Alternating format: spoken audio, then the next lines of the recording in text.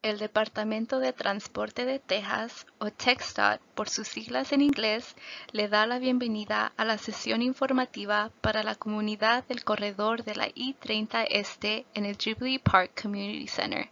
Apreciamos su interés en el proyecto. El tema de esta sesión informativa es el proyecto del corredor de la I-30 Este de la I-345 y 45 hasta la Ferguson Road. El proyecto incluye la reconstrucción y ampliamiento de aproximadamente 4.4 millas de la I-30.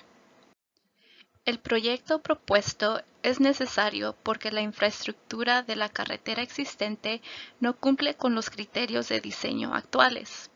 El continuo crecimiento de la población y aumento de demandas de tráfico en el condado de Dallas resaltan la necesidad de mejorar la infraestructura de la carretera existente.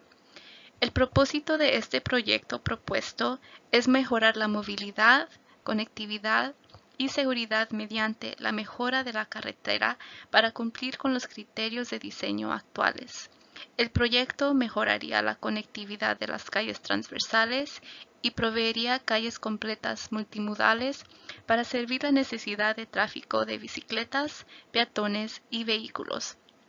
La reconstrucción de la I-30 proveerá la oportunidad de deprimir la I-30 y reconectar las calles sobre la carretera para que la I-30 se perciba menos como una barrera divisoria entre vecindarios y comunidades. La carretera existente I-30 incluye cuatro carriles de uso general en cada dirección y un carril reversible de alta ocupación o carril de HOV por sus siglas en inglés. Los carriles existentes de uso general y el carril de HOV están en una estructura de puente elevado de la I-345 y 45 hasta Haskell Avenue, con puentes sobre las calles desde Peak Avenue hasta Dolphin Road. Las vías laterales varían de dos a tres carriles en cada dirección y son discontinuas dentro de los límites del proyecto. El diseño propuesto incluye cinco carriles de uso general en cada dirección y dos carriles de acceso controlado reversibles. Los carriles de uso general y los carriles de acceso controlado serían deprimidos por debajo del nivel del suelo desde la I-345 y 45 hasta Dauphin Road. Este diseño permitiría que las calles transversales crucen sobre la I-30 y se conecten con las vías laterales a nivel. El proyecto propuesto también incluye vías laterales discontinuas a nivel con dos a tres carriles en cada dirección. La reconstrucción de las rampas y las estructuras de los puentes de las calles transversales y alojamientos para ciclistas y peatones a lo largo del corredor del proyecto. Esta diapositiva muestra las condiciones existentes y propuestas para el proyecto del corredor de la I-30 este entre Caldwell Street y Carroll Avenue. Lugares notables en esta parte del corredor incluyen el Camino de Santa Fe al norte y el Parque Jubilee y Centro de Comunidad al sur. La imagen de arriba muestra el corredor existente de la I-30 que actualmente divide Caldwell Street y Bank Street. La imagen de abajo muestra la condición propuesta que proveerá nuevas puentes para reconectar Bank Street y Caldwell Street a través del I-30. Un total de 15 calles existentes serían mantenidas con mejoras de cruce de la I-30 y se conectarían con nuevos segmentos de vías laterales donde estos sean construidos. El proyecto propuesto reconectaría cuatro calles adicionales que actualmente no cruzan la I-30. Estas calles incluyen Bank Street, Caldwell Street, Gurley Avenue y Beeman Avenue. Además de mejorar las conexiones de las calles locales, las calles transversales serían compatibles con las guías de diseño del Manual de Diseño para Calles Completas de la Ciudad de Dallas.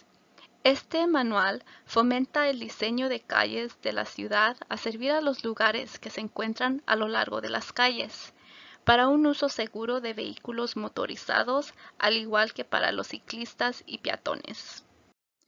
El proyecto propuesto mejorará las rampas a lo largo de la I-30 para cumplir con los criterios de diseño actuales, proveyendo rampas más seguras y más fáciles de usar. Cuatro puentes de conexión nuevos para las calles transversales serán proveídos en Bank Street, Caldwell Street, Gurley Avenue y Beeman Avenue.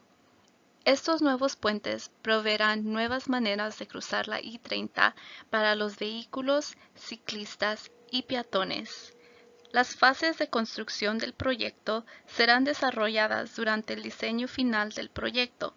La construcción propuesta será en fases, con el propósito de minimizar impactos de construcción a las comunidades adyacentes.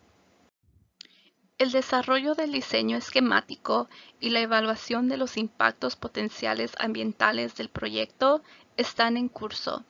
Después de que la autorización ambiental sea recibida, el diseño detallado del proyecto será desarrollado para asistir en la contratación para la construcción del proyecto.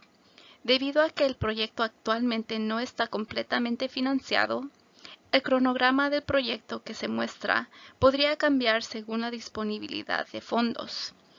Estamos anticipando una audiencia pública de puertas abiertas en el otoño del 2022, que llevaría a cabo en persona y virtual. La audiencia pública será una oportunidad para proveer comentarios verbales y escritos con respecto al proyecto propuesto. Sinceramente apreciamos su participación e interés con referencia al diseño propuesto del proyecto del corredor de la I-30 Este. Para información adicional, por favor de contactar al gerente del proyecto de TxDOT, Nathan Petter, por correo electrónico a nathan.petter.texdot.gov. Gracias. Esto concluye la presentación. Lo invitamos a revisar las exhibiciones y los planos del diseño esquemático propuesto que se muestran aquí hoy. Nuestro personal estará disponible para responder cualquier pregunta que tenga.